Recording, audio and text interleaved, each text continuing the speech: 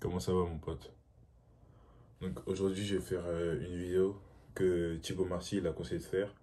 En gros c'est tu fais un compte rendu de ton mois, de ton avancement dans ton développement personnel, dans ton business, etc. Et du coup bah, je vais m'essayer à l'exercice. Et en même temps ça va me permettre de travailler euh, ma capacité à parler longtemps. Du coup à faire des vidéos de plus de 10 minutes, 20 minutes, peut-être 30 minutes, on va voir. Et euh, ouais, c'est parti. Hmm. Du coup, euh, j'ai commencé euh, par parler un peu des doutes que j'ai.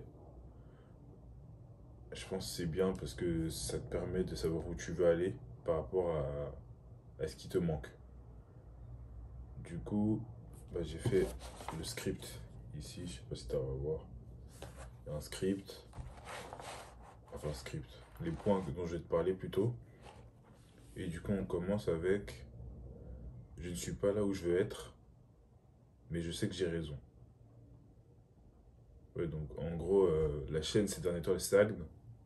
Bon, c'est ma faute, vu que j'ai pas trop produit de vidéos, surtout avec de la valeur, qui font que les gens s'abonnent, euh, que les vidéos elles, tournent bien, etc. Et euh, je sais que c'est entièrement ma faute en vrai.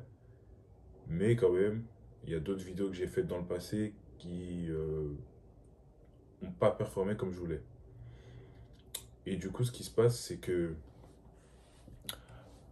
bah, du coup, ça fait douter. Tu dis, ah, peut-être que j'ai pas l'intellect, je suis pas digne de justement euh, bah, d'avoir une chaîne qui performe plus.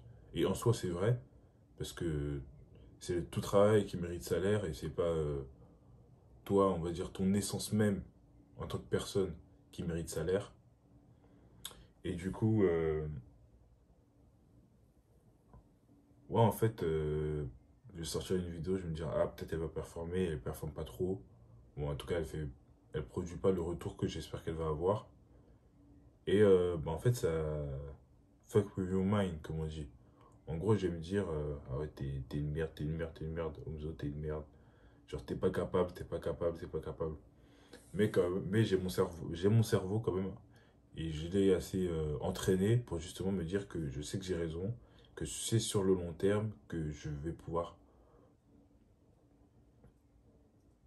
atteindre mes objectifs. Que sur le long terme, si je continue à travailler, si je continue à produire du contenu avec de la valeur, si je continue à m'améliorer, ce qui sera le cas si je continue à produire, et bah j'aurai ce que je voudrais.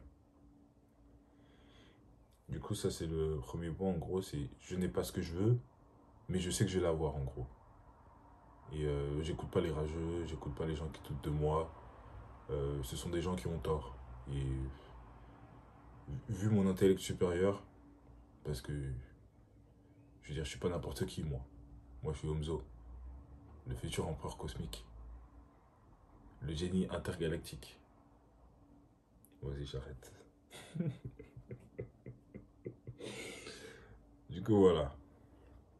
Euh, c'était le premier point. Le deuxième point, bah, c'était la même chose en fait, c'est sensation de stagnation et du travail qui ne paye pas. Ouais, en, gros, c'est ce que j'ai dit. Le travail, ça paye pas forcément tout de suite. C'est l'effet cumulé. Et bah, c'est le troisième point, bah, ça tombe bien. En gros, c'est je dois faire confiance à l'effet cumulé. Donc, euh, l'effet cumulé, le livre, il est, il est là-bas. Et en gros, l'idée, c'est, euh, j'avais fait une vidéo dessus d'ailleurs, euh, si tu travailles, si tu as les bonnes habitudes, en fait, tu vas pas voir de différence tout de suite. Tu vas pas, peut-être pas voir de différence dans un mois.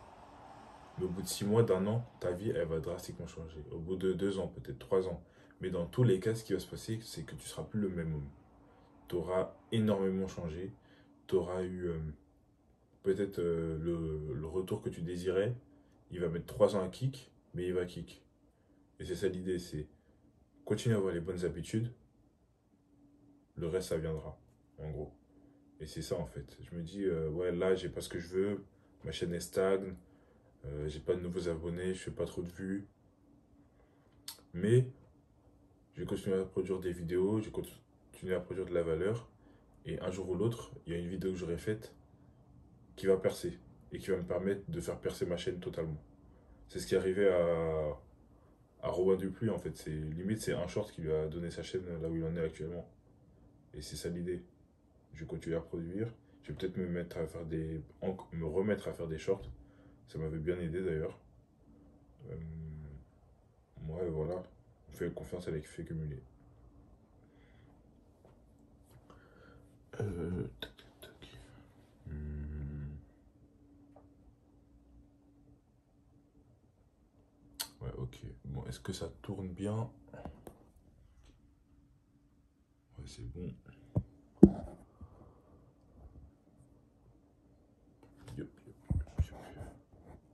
Ok. Du coup, ensuite. Ah ouais, d'ailleurs, j'y pense.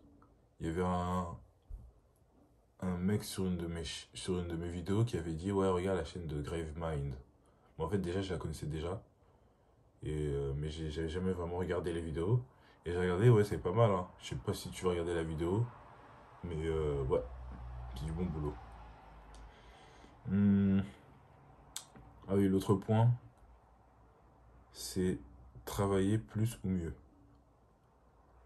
En gros, le truc, c'est que j'hésite entre soit produire plus de vidéos avec une qualité un peu moindre, avec un niveau de montage moindre, soit je fais l'inverse. Je produis moins de vidéos, peut-être une par semaine, le temps que justement je m'améliore assez en, montage, etc.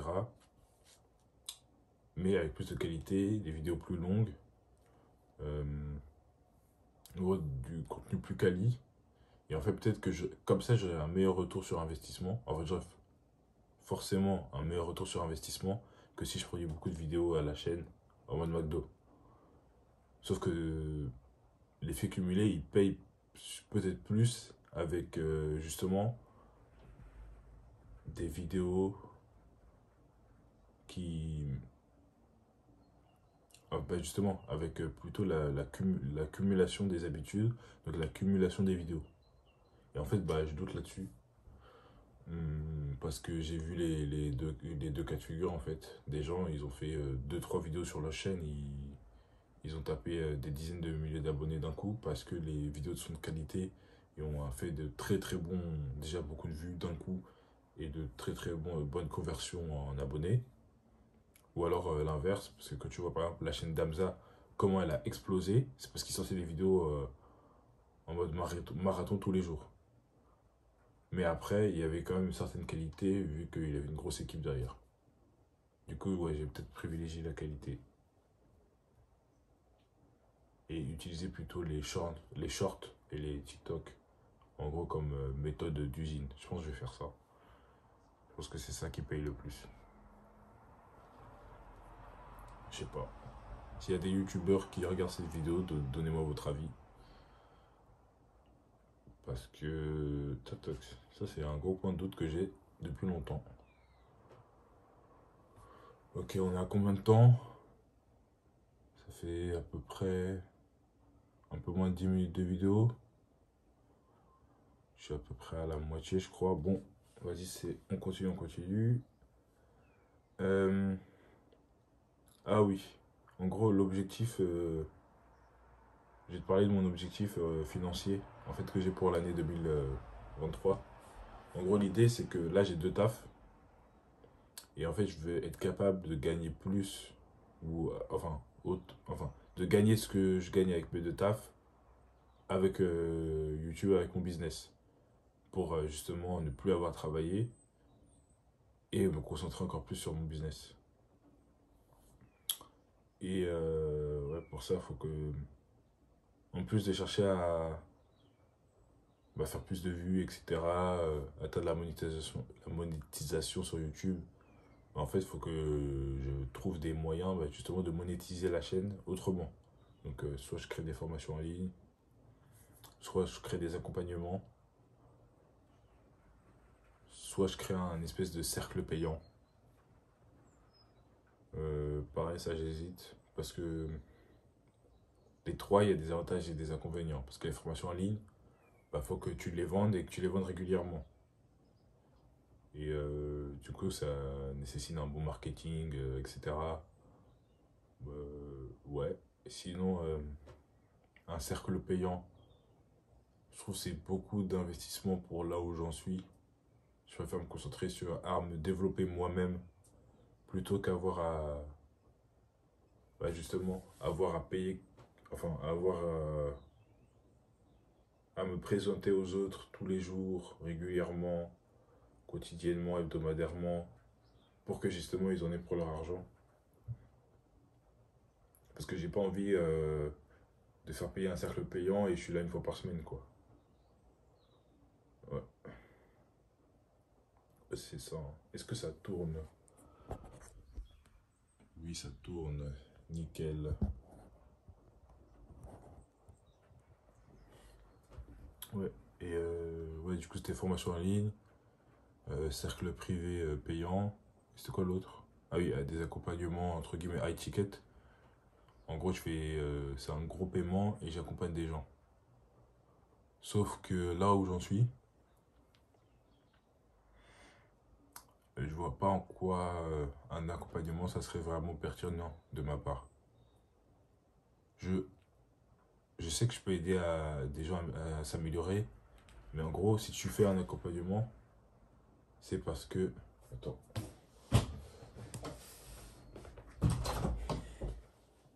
Si tu veux un accompagnement de quelqu'un, c'est parce que justement tu veux que il euh, te permette d'atteindre bah, en fait la personne qu'il est aujourd'hui. En gros, si moi je, prends un accompagnement de, de Hamza, c'est parce que je veux être comme Hamza. Si je prends un accompagnement de, je sais pas moi, d'un footballeur ou de Mike Tyson, c'est parce que je veux leur ressembler. Or, je pense pas que quelqu'un. Enfin, après, oui, j'ai des qualités qui font que des gens. J'inspire des gens sur certains points ou d'autres, c'est sûr. Mais l'idée, c'est que. Euh, je suis pas dans le top 1%. C'est ça l'idée, quoi. Du coup, euh, je pense qu'on va plutôt se diriger vers formation en ligne. Après, sur quoi? Bonne question. En fait, j'ai deux, euh, j'ai deux directions. Et peut-être je vais faire les deux du coup. Il y en a un, ça sera un peu sur euh, l'état d'esprit, mindset, discipline, etc. Et l'autre, ça va plutôt être d'un point de vue physique, ouais, physique, euh, avoir un corps esthétique, etc. Mais justement pour ça, je vais attendre euh, de développer encore un peu mon physique. Pour justement être, euh, valide sur le sujet. Je sais que je vais l'être. Mais justement, il faut que. Il les photos qui prouvent. Pour l'instant, on est un peu trop skinny. Hmm. Faudra taper des flocons d'avoine encore, malheureusement. Ah Du coup, il y a quoi d'autre?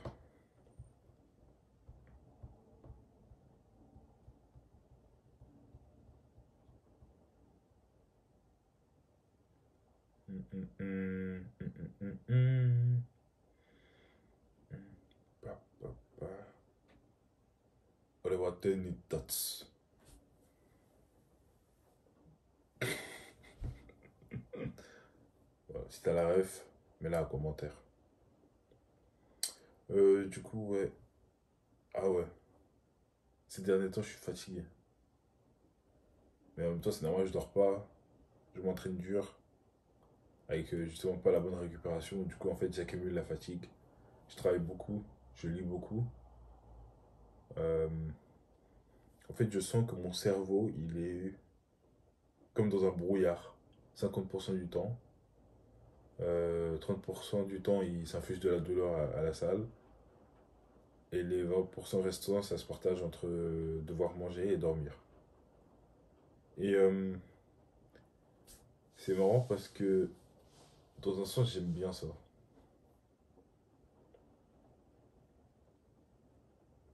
Je pense que c'est parce qu'on est supposé être fatigué. Euh, ouais, c'est ça. C'est tout. Hein. Je suis fatigué mais content. Est-ce que ça tourne? J'ai des PTSD parce qu'une fois ça tournait et puis ça s'est arrêté tout seul. Depuis je vérifie tout le temps. J'espère que je suis bien cadré, je peux pas voir. Je suis sûr que je suis pas bien cadré. Mais c'est pas grave. Hum, hum, Ah ouais, du coup la salle. En ce moment la salle je kiffe. D'ailleurs là j'ai des bonnes courbatures aux épaules. Dans le dos. Enfin grand dorsal. Le cou, taffé le cou, je me suis remis à taffer le cou. Je kiffe. En plus, je me suis mis à travailler encore plus euh, tout ce qui est calisthénie. Je travaille la, la planche, handstand, les dips. En définition musculaire en ce moment. Avant de reprendre plus sérieusement la prise de masse. Et euh,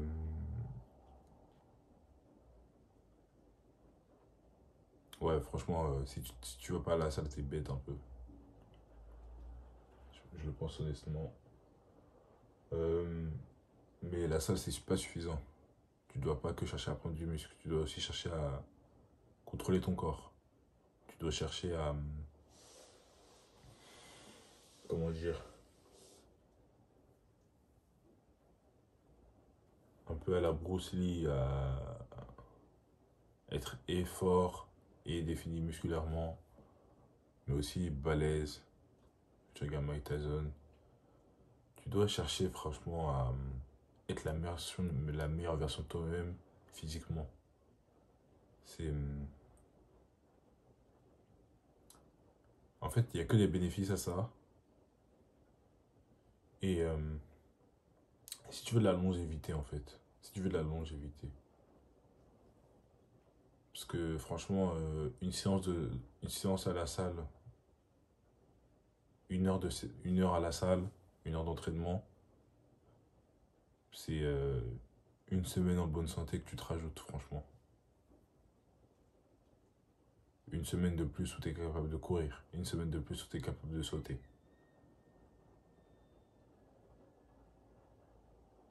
C'est ça l'idée, quoi. Entraîne-toi. Entraîne-toi. Franchement, euh, il y a encore des gens, il y avait encore beaucoup de gens justement qui ne qui s'entraînent pas, qui, font pas de sport. Maintenant, il y a des filles qui, qui soulèvent plus au deadlift que, que des mecs. Euh, c'est. Euh, non, le monde il est bizarre. Le monde il est bizarre. D'ailleurs, mon objectif au deadlift en ce moment c'est les 200. Là, je suis à 185 en max. J'hésite à passer en sumo. Parce que je suis du conventionnel. Mais en fait, en conventionnel, moi, j'utilise pas mes jambes parce que. Euh, parce que justement, je suis. Je très long, je suis très longiligne et plus des bras que des jambes. Du coup, en fait, quand je soulève, euh, il y a tout qui part dans le bas du dos, en fait. Et je tire avec les, les bras, mes jambes, en fait, elles sont déjà presque droites, plus ou moins. Du coup, j'ai hésité à partir en sumo. Parce que justement, je pourrais utiliser mes jambes en plus. Et en plus, j'ai vu que j'ai pas mal de puissance en sumo. J'ai essayé, j'ai tapé euh, à jeun, euh, je sais pas, genre entre 11 et 13 reps à 120 kg euh, avec une vélocité exceptionnelle. Après ma séance jambes, donc après avoir fait du squat, du hip thrust, et du soulevé de terre roumain. Donc après tous ces exercices, j'ai envoyé comme jamais. Donc ça veut dire que il y en a sous le capot quoi. Ouais, donc c'est ça pour la muscu, tout ça. Euh, ouais. Et du coup, euh, ouais, j'ai commencé à investir pour la chaîne. Donc j'ai acheté euh, des câbles, etc. Parce que j'avais acheté un micro-cravate qui n'est pas arrivé. Et je crois que la commande, elle n'est pas partie. Du coup, il va falloir que je recommande, je sais pas, je vais voir. Parce que j'en ai marre là, le son il est trop éclaté. faut améliorer ça. Et ensuite, on va, on va s'acheter une caméra. Hein. Parce que là, je filme avec mon, mon iPhone. Bon, iPhone c'est gentil, mais voilà quoi. Faut justement pour que ma chaîne continue à se développer, faut que je commence à investir à l'aider justement à grandir. C'est ça. Et euh, justement, c'est un investissement qui, je pense, aura un gros retour. Avec un autre investissement qui n'est pas monétaire, mais, mais qui, celui-là est temporel, sur le fait qu'en ce moment, j'apprends euh, à faire du, montage et à faire des, des miniatures. Et euh, pour les miniatures, je vois déjà que j'ai un meilleur euh, taux de conversion de clics. Donc c'est bien. pour les miniatures, ce que je fais en fait, c'est que en gros, je vais mettre un titre plus ou moins accrocheur euh, en rouge. Le rouge, c'est une couleur qui pète sur un fond blanc en plus, avec une petite ombre. Et, euh, je rajoute une image. En général, ça va être euh, un perso de manga. Peut-être je vais commencer à me mettre moi. Et sinon, je mets Kratos aussi. Que Kratos, il est à la mode en ce moment. C'est ça que je fais en gros. Du coup, c'est aussi pour ça qu'il y a moins de vidéos. En fait, j'investis pour la chaîne dans le sens où je mets de l'argent, mais aussi je mets mon cerveau. Et si je mets mon cerveau pour justement améliorer ce que je produis, je peux pas produire en même temps. En fait, si je peux, parce que c'est ce que je fais dans tous les cas, mais l'idée c'est que il y a la phase d'apprentissage d'abord. C'est ça. Ok. Ouais, du coup, j'apprends le montage. Et le, montage, du coup, euh, c'est pas facile. C'est, euh, en fait, je sais que ça n'allait pas être simple, je... mais en fait, c'est plus simple que ce que je pensais. Dans le sens où euh, il y a des logiciels de montage qui sont pas du tout intuitifs et il y en a d'autres qui le sont énormément. Et l'idée, c'est que tu prennes ce que tu que tu prennes un logiciel que ton cerveau comprend. Et du coup, là, je suis sur. J'ai commencé à faire du montage sur iMovie, sur les de les deux dernières vidéos. Et euh, ouais, ouais, je vois déjà que... En fait, je vois ce que je peux faire. Je sais pas encore le faire, mais je vois ce que je peux faire. Et c'est ça qui est bien. C'est que euh, j'ai du potentiel. Je peux faire euh, des vidéos qualitatives. en plus, j'ai vu, il y, avait il y a un youtubeur que j'ai découvert il y a pas longtemps. Si tu veux le voir sa chaîne, écris Nick Pedersen ou euh, Winter Training Arc. Il a fait des vidéos qui s'appellent comme ça, il en a fait 5. Et en fait, euh, carrément, il m'a donné envie de, faire, de tourner des vidéos la nuit, euh, y a toute une esthétique un peu en mode, en mode tous les délires Sigma, American Psycho, Blade Runner. Il va à la salle, il rentre chez lui, il est tout seul. Hmm. J'aime beaucoup en fait l'esthétique. Et c'est un truc justement que j'ai remarqué chez moi. C'est que je suis quelqu'un qui aime le subtil, qui aime l'esthétique, qui aime le profond. C'est pour ça que j'aime autant la philosophie, parce que c'est ça qui se rapproche le plus du profond. Est-ce que ça tourne? Parce que cette fraise de ouf, j'espère que je l'ai. Oh, là là, c'est excellent. Ça tourne. Euh, d'ailleurs, là, ça fait 23 minutes. Je pense pas que je vais faire du... Je vais couper des trucs. En fait, si, peut-être. Enfin, je sais pas, je verrai. Du coup, si tu es encore là, c'est que tu es un vrai. Du coup, écris en commentaire. Qu'est-ce que tu peux écrire en commentaire hmm. Hmm. Écris en commentaire empereur. Empereur cosmique. Voilà, c'est ça. Tu m'écris empereur cosmique. Empereur cosmique, ça veut dire que t'es un vrai. Alors, quoi d'autre euh, Je réponds à tous ceux qui écrivent Empereur cosmique. Du coup, quoi d'autre Quoi d'autre Il euh, y a investir pour la chaleur, le montage c'est pas facile, mais j'aime bien. Ah, j'ai essayé tout. Hein. Ça fait pas trop de minutes là, c'est pas bon. C'est pas bon du tout. Faut que je fasse euh, au moins 5 minutes de plus. Bon, qu'est-ce que je peux faire hmm. Hmm, hmm, Ah oui, en ce moment je lis euh, le discours. de- euh, non. J'aime plus le titre. Euh, c'est bien. C'est le. C'est de la Boétie. C'est la. La servitude. euh, le discours de la servitude volontaire, c'est ça?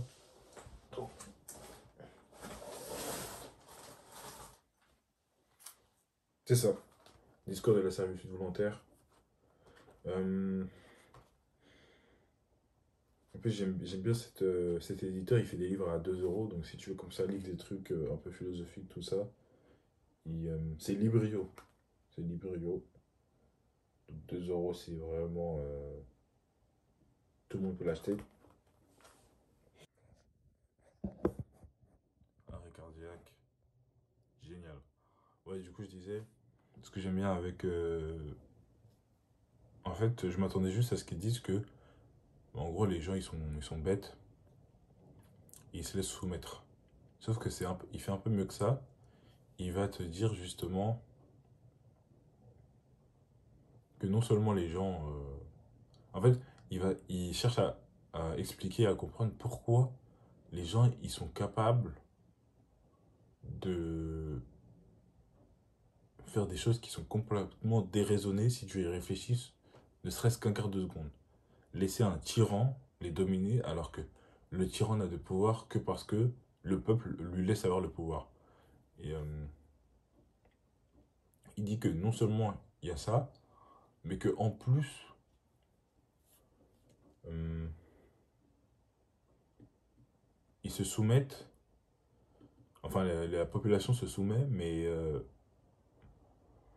mais avec, euh, avec force, entre guillemets. C'est-à-dire que c'est euh, un peu comme, euh, euh, je sais plus comment il s'appelle, dans le film, dans, dans, dans le film avec le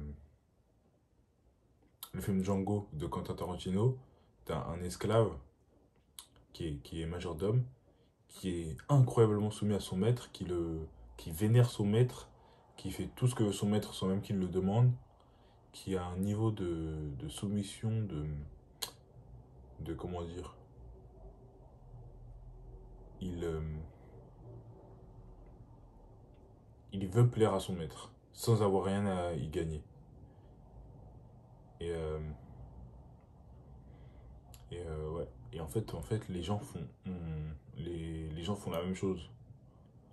En ce moment, tu, tu vois, il y a beaucoup de problèmes politiques dans plein d'endroits dans le monde. Beaucoup Et en, fait, c'est pour ça que je déteste la démocratie, parce que c'est encore pire maintenant, parce que les gens choisissent leur leader, mais le détestent encore plus que les rois, les, les, les, empereurs et tous ceux d'avant. Donc ça veut dire que, en fait, ça montre que le peuple n'est pas fait pour euh, ch- choisir son décideur, déjà. Ensuite, que le leader, il peut avoir une énorme marge de manœuvre s'il est malin. J'ai pas encore lu Le Prince de Machiavel, mais ça ne saurait tarder. Et euh, ouais, ça va être intéressant. Ça va être intéressant. Euh, je pense qu'on est bientôt à 30 minutes là. Je commence à avoir la gorge sèche. Qu'est-ce qui se passe d'autre dans la vie d'Omso qui peut t'intéresser? Hmm.